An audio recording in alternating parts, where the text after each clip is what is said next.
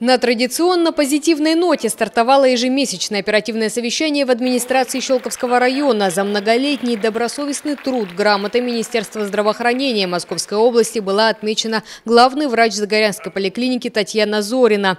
Также объявлена благодарность главы района фельдшеру Щелковской подстанции скорой медицинской помощи Александру Кужелеву. Специалист смог принять роды в экстремальной ситуации в подъезде дома. И, конечно, чествовали тех, кто внес большой вклад в подготовку подготовку ко дню города Щелково и Щелковского района.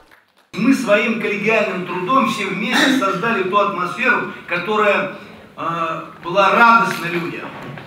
Мы создали столько объектов и готовимся создавать столько объектов.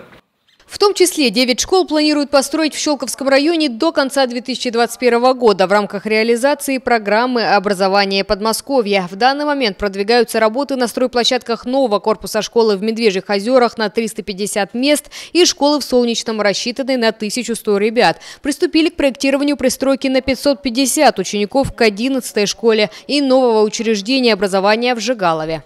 Осуществляются проектно-изыскательские работы. Это средняя общеобразовательная школа на 1100 мест в экран Жигалова. Э, хочу отметить, что 17 августа мы получили положительное заключение э, Мособлэкспертизы э, по, по проектной документации. Срок начала строительства – это третий квартал 2018 года.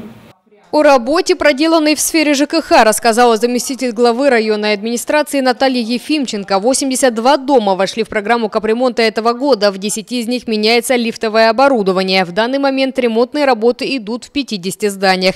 Также масштабно этим летом на территории района реализовалась одна из главных программ Подмосковья. Комплексное благоустройство затронуло порядка 50 дворов. В этом году у нас четыре этапа по благоустройству комплексных дворовых территорий. Мы успешно завершили первый и второй этап. 12 дворовых территорий приняты депутатами, приняты жителями. И к концу августа у нас готовы 15 дворовых территорий. Мы их закончим, и у нас останется вот до конца года 14. 22 сентября в Подмосковье пройдет ежегодная акция «Наш лес. Посади свое дерево». Рядом с поселком Литвиново на площади порядка 12 гектаров высадят более 49 тысяч сеянцев ели. Участники акции будут обеспечены раздаточной продукцией согласно утвержденному брендбуку «Утилизированной водой». Предусмотрена работа полевой кухни, чай, запланирована культурная программа музыкальное сопровождение.